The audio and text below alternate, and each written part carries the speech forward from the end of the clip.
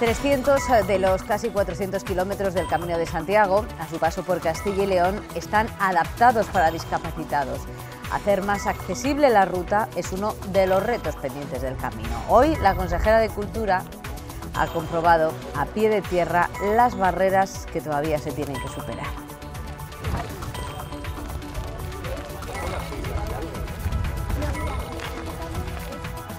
Buenas tardes, hoy nos llegan anuncios con cara y cruz para nuestra minería.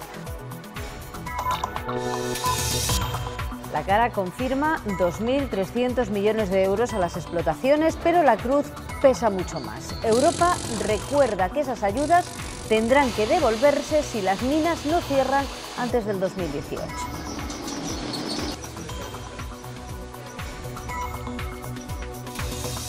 Y en tiempo de descuento para aplicar el ERE, Lauki abre la puerta a dar una salida para la planta de Valladolid. La multinacional láctea estaría dispuesta a dar un plazo de tres meses para encontrar un comprador para la fábrica.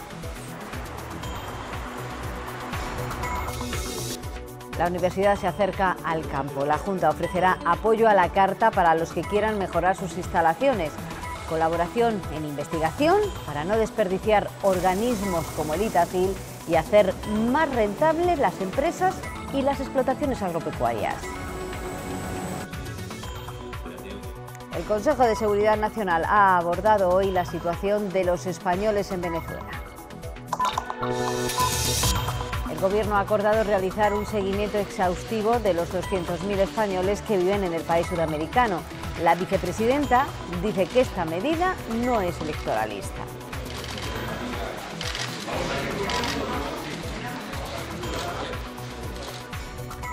El ataque al centro, el sabotaje al centro del Robledo, atacado y que fue, cuyo cuidador fue atacado ayer, está detrás de ese ataque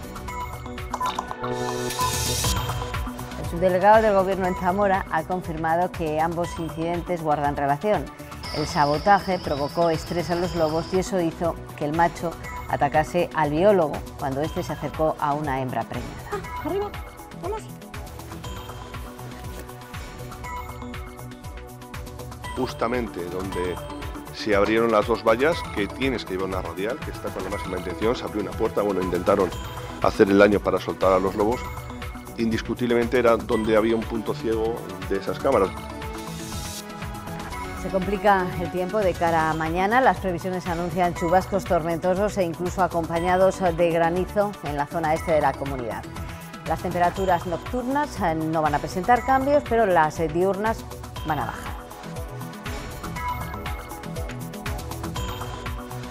Deportes, la Ponferradina necesita un favor del Mirandés para conseguir la permanencia este domingo. Fernando, buenas tardes. Buenas tardes, Nati. Primero, eso sí, tiene que hacer sus deberes, que no son otros que ganar en Tenerife y esperar que el equipo de Carlos Terrazas puntúe en Almería.